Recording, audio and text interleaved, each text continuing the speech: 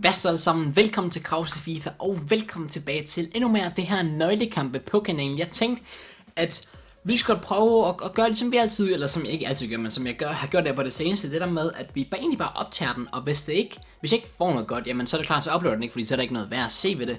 Men hvis jeg rent faktisk får noget decent, jamen så kan vi skal bare uploade den, fordi hvorfor ikke? Øhm, så vi kan se, at vi har en ny Anker Nøglekampe lige udkommet, tror jeg faktisk det er, eller var det ikke? Ej, det, passer, det ville passe meget godt, hvis det var torsdag, fordi jeg optager den her video torsdag. Det passer meget godt, hvis det udkommer i dag her faktisk. Især nok videoen først lørdag skyder jeg på. Øhm, vi kan se, at vi får en stjernespillerpakke. Øh, guld for alle sammen, det er en 45k pakke. Så får vi den her sjældent guldpakke og 1000 mønter for klare Juventus vs Real Madrid, som er 25k pakke, mener jeg det er. Så har vi en Electrum spillerpakke, som jeg tror ikke engang at 20k. Faktisk den der 20k, den hedder ved sjældent Electrum spilpakke eller whatever i den stil.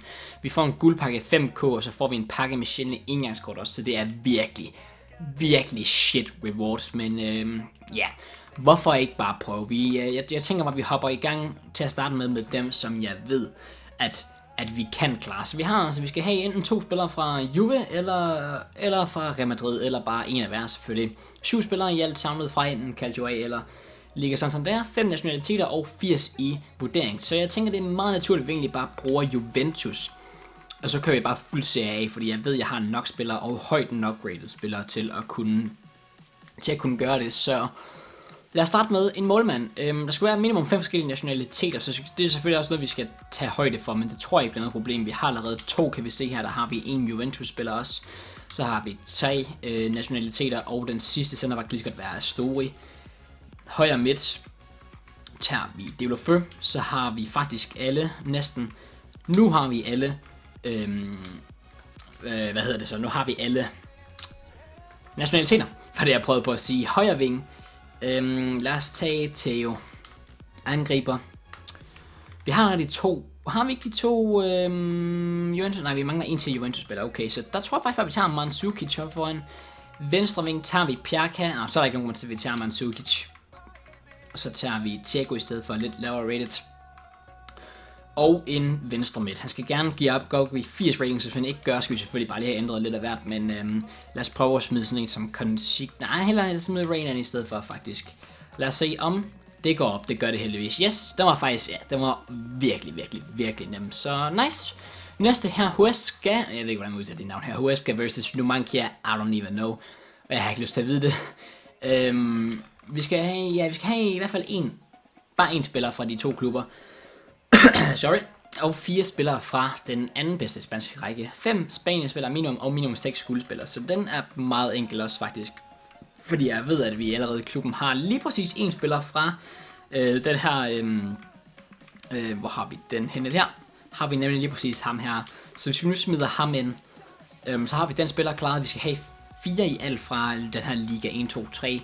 Det ved jeg ikke, om vi har, men det finder vi ud af i hvert fald. Vi har... Mm, lad os egentlig hurtigt søge, hvad jeg overhovedet sådan har. Okay, der har jeg heldigvis lidt af hvert faktisk. Hey, desværre ikke nogen offensive spillere. Jeg tror faktisk godt, vi kan få det til at gå op alligevel, hvis vi bare gør sådan her for eksempel. Bum. Og... Bum.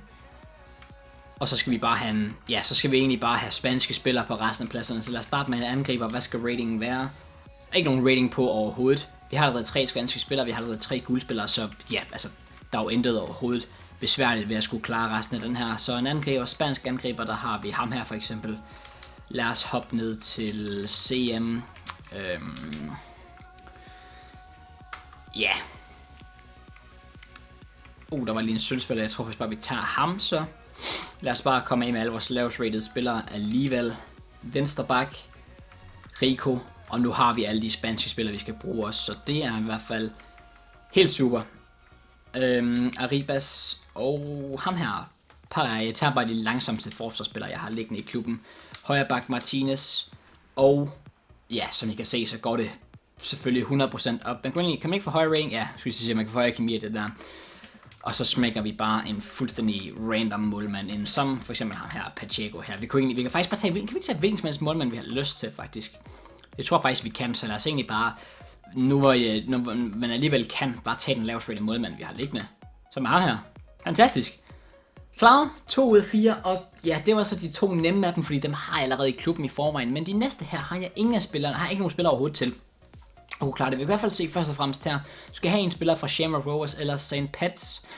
Og jeg har ikke nogen fra, fra, fra nogen af dem overhovedet. Jeg ved ikke engang, om jeg har nogle irske spillere sådan generelt, så, så det bliver lidt en udfordring. Jeg håber i hvert fald, jeg har en god håndfuld. Um, 1, 2, 3, 4, 5, 6, 7. Ja, yeah, jeg har lige præcis nok, ser det faktisk ud til. Så det er faktisk virkelig fedt. Så smækker vi ham ind der. Magidi. Højre midt selvfølgelig. Øh, McCarthy, jeg tror det, ja, lad os lige bytte rundt på det her to, så giver højre kemi.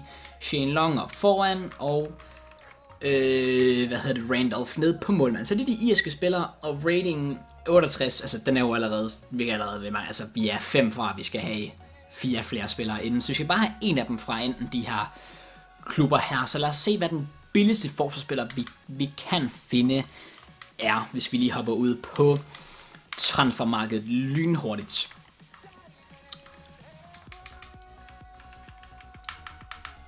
Så vi hopper ned, det hurtigt til den anden vej faktisk. Vi tager der, og lad os starte med at tage, hvad var det, vi skulle bruge? Shamrock Rovers, forsvarsspillere, 600 coins, 700 coins ser det ud til. Mm, ja, lad mig bare lige hurtigt for sammenligningen skyld se St. Pats. Ja, der er det faktisk en lille smule billigere 500 coins. Jeg snupper ham bare lige med det samme lynhurtigt, så han er glad også. Og det var den syvende, øhm, eller det var, er det faktisk så den 8. irske spiller, men ja, fint nok, som vi skulle bruge.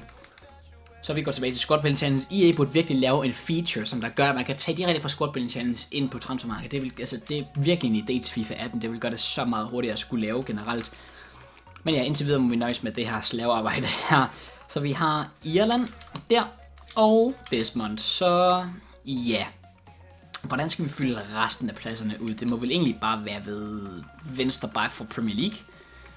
Øhm, eller er det måske lige groft nok? Hvad med en venstre bak? Hvad med bare tage en venstre back og smide ind? Så har vi for eksempel, Øh, vi har ham her. Vi skal have 15 mere kemi. Så hvis vi nu bare tager Premier League på resten af pladserne, så tror jeg faktisk, at det går op. På centerback kan vi starte med Obonna, og han ligger endda op til Randolph, så det er fantastisk. Og højre bak tager vi Kyle Norton. Mangler lige præcis en kemi. Okay. Så der kan vi lige... Jeg tror, hvis vi har et, øh, et indgangskort til ham her, så vi bare lige ja, laver ham til offensiv midtbane. Og så går det op. Så ja, det var faktisk meget nemmere, end jeg troede. Det var egentlig bare en enkelt spiller, man skulle ud og købe. Øhm, så indtil videre brugt 500 coins på den her øh, Squad Building Challenge. Og går videre til den her også. Vi skal have øhm, en spiller fra Hammerby og, eller, eller fra Djurgårdens, men jeg har ikke nogen derfra. Øhm, men lad os starte med at tage Allsvenskan øh, og fylde ud på pladserne, og lad os, øh, jamen, så tager vi den, tager vi den derfra, ikke Superligaen, Svenske Liga. Der har vi rimeligt, og vi skal ikke have nogen rating på overhovedet heller, så det er fantastisk, og den ene af dem skal selvfølgelig være Hammerby eller Djurgården, så lad os egentlig starte med at finde den spiller øhm, fra en af de klubber, for så bygger vi bare kan man sige, holdet rundt om den person, så vi går tilbage til Altså svenskerne ligger lige her i starten, det er lækkert nok. Øhm, kan man finde 500 coins? Altså, det, det burde man da kunne. Djurgårdens? Ja, det kan du. Det er jo fantastisk. Kan du finde endnu billigere, hvis du tager for eksempel 350? Ja. 300 coins? Ja. Hvorfor ikke? Lad os bare tage... Nej, og derfor, derfor tager vi ikke ham. Øhm, så lad os lige hurtigt lave en smart løsning. Hammerby, Haps. Ah, fuck sake. Okay, øh, lad os stoppe med at være smarte, og så lad os bare, lad os bare lige, lige få fat i den spiller her. 500 coins. Der har vi så gerne være en svensk spiller. Vi har en svensk spiller med et knap så svensk navn. Øh, Kevin Walker. Men ja, fint. Så vi ser Walker og Rasmus Elm er faktisk passer meget godt. Har vi nogen angreb? Vi har ikke nogen angriber, okay. Højre midt har vi heller ikke nogen. Nå, hvad har vi så? Hvad har vi så af spillere? Øhm, der, og lad os hellere tage de to bronzespillere i stedet for. Sådan der, så har vi de fire svenske spillere, vi har de fire alle svenskerne spillere. Så skal resten af holdet bare bygges uden om, øh, uden om ja, altså en, en helt anden liga. Jeg vil lige holde på at se, om vi har en svensk målmand, der bare lige kan linke op med dem, for ligesom at få hentet lidt kemi der. Det har vi ikke overhovedet. Fuck it, det kan også være ligegyldigt. Venstre bak fra, hvad kan man, hvad, hvad skal vi bygge det med? Øhm, Calcio A. Eller hvad, det skal gerne give fuld kemi også. Vensterbak. Fra Tyskland har vi heller ikke. Lad os tage den her i stedet for. Lad os lige se, hvad jeg har af venstre midt. Der har vi Cherry Chef. Ja. Skal jo gerne... Skal jo faktisk helst gerne... Ja, det er så godt det faktisk om, fordi så tager vi Luisinho. Sådan her, de skal helst have et grønt link dernede, nemlig, og så tager vi bare Bebe. Baby please. Og angriber, også bare to, der linker op til hinanden. Vi har Jon Gudetti, ja, hvorfor ikke? Øhm, og øh, Ramos.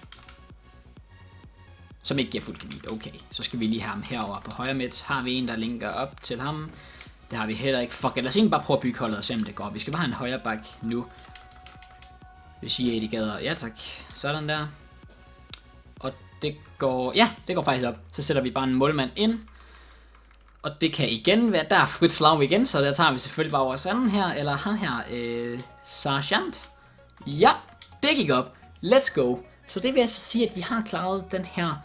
Øh, de, den, den her Squad Building Challenge nøglekampe her. Og vi får altså som sagt den her 45k pakke ind. Stjernespillerpakke guld. Så lad os hoppe direkte ind i pakkerne med det samme her. Lad os gå op. Jeg har lige lagt mærke til noget. Fuck. Fuck, jeg har lige lagt mærke til, at jeg har hele den her squat Building Challenge har optaget med mit webcam op til højre på skærmen. Så I kan faktisk ikke, I kan faktisk ikke kunne se rating eller kemien overhovedet, mens jeg har lavet dem.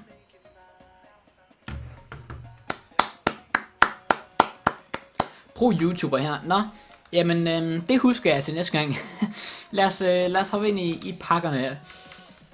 I stedet for, ja, jeg sad, jeg, jeg sad lidt kigger derover og tænker, nu skal jeg huske her, at jeg skal ændre webcamen, og så er jeg sådan lidt, nå, webcamen står allerede, så det er den, det, det, jeg ville have ændret dem til. og vi får faktisk en, øh, en holdt, en, øh, hvad hedder det, en trupfitness i, som en sjældent, det sjældne kort i den her pakke. Ja, det er faktisk rimelig godt. Øh, sjældne indgangskort. Ja, hvorfor giver I dem overhovedet? Jeg ved ikke. Det er vel fint nok, I guess. Altså, tre trupfitness kan man vel aldrig rigtig sige nej tak til.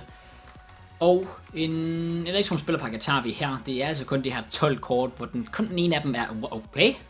Og så får vi så lige en inform. jeg sidder lige og siger, at det var en... Jeg, jeg vil lige sidde og sige, at det er en shit pakke, og så får vi en inform. Det var så også en shit inform, men altså... Ja, det er da bedre end ingenting. Nå, fedt. Han, ja, han rører direkte ind i klubben faktisk, øh, fordi så kan vi bruge ham til nogle af de der squad building challenges, der måske kræver en, en inform. En sjældent guldpakke tager vi her, 25k pakken, og der får vi ikke noget godt. Okay. Fair nok. Gemmer tingene i klubben for Chelsea udbanen. Trøjen er faktisk rigtig fed trøje, har den selv. Men Christian det sidste, og så har vi altså 45k pakken. Lad os hul på den. Lad os se, hvad vi får. Ikke nogen walkout, men måske en... Okay, en team of the season. Nice. Vi får altså... Øhm, det er Carlos Eduardo. Er det ham fra FIFA 13, som havde 5 skills, som jeg skal hilse at sige var fucking vanvittig? Det tror jeg, det er. Han er 4 skills godt nok nu. Ja, det er ham der. Det er ham. What nice. En team of season og en inform. Okay, den har jeg overhovedet ikke set komme. Og det er 87 rated endda. Øhm, men det, det, det, tror jeg faktisk, alle Team of Season er minimum 87 rated, så det nice. Fedt. Øhm, det var da meget lækkert. Jeg ved ikke, hvad han går for overhovedet. Han går ikke for særlig meget på grund af hans pace sikkert, men kortet er jo ikke engang særlig dårligt. Men det er selvfølgelig en dårlig liga, men minimum 20k. I'll take it. Virkelig, I'll take it. Så en inform øhm, over en time of season, sådan tjent på, at vi har brugt, jamen, hvad brugte der? 300 coins på den ene, eller jeg tror, jeg ja, 1000 coins i alt, fordi jeg har købt to spillere for 500 coins hver. Så for 1000 coins har jeg lige fået en time of season og en inform. Det er rimelig godt, hvis du spørger mig. Øhm, men ja, det var sgu da en, en lækker, fin lille squad building challenge her. Jeg er ked af, at jeg ikke har husket det der med webcam, så I kan kunne se ratingen og kemien. Så det, der er nogle gange, hvor jeg har gået ind og ændret en spiller, og så har I siddet og tænkt, hvorfor har du gjort det? Men det er selvfølgelig klart, fordi at ratingen og kemien ikke har været god nok. Men øhm, ja, jeg håber det går. Jeg husker det selvfølgelig til næste gang. Dårlig, dårlig, dårlig fejl fra, fra min side. Urutineret, vil nogen kalde det. Men øh, ja, øhm, det var sådan set det for de her nøglekampe her. Jeg håber selvfølgelig, som altid, at den nye video. Selvfølgelig kommer den her video op, fordi at jeg rent faktisk penge noget godt. Så, så ja, øhm, som sagt, jeg håber, at I nyder videoen. Hvis I har, glem selvfølgelig at gå ned og smid et like på den ops også.